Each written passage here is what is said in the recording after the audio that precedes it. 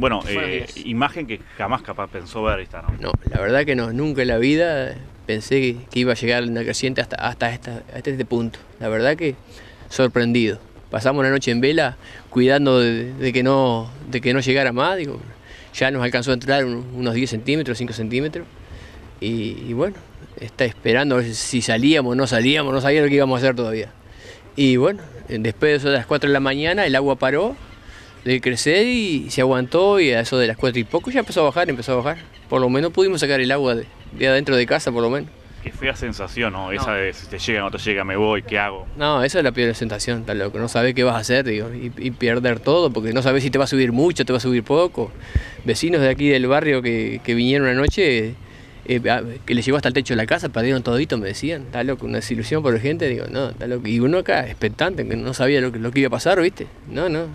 ¿Nunca habías visto esto? No, no, mi señora nació acá y toda la vida llegó a una cuadra de acá, nunca había llegado acá. Esto inaudito, la verdad que me dejó helado.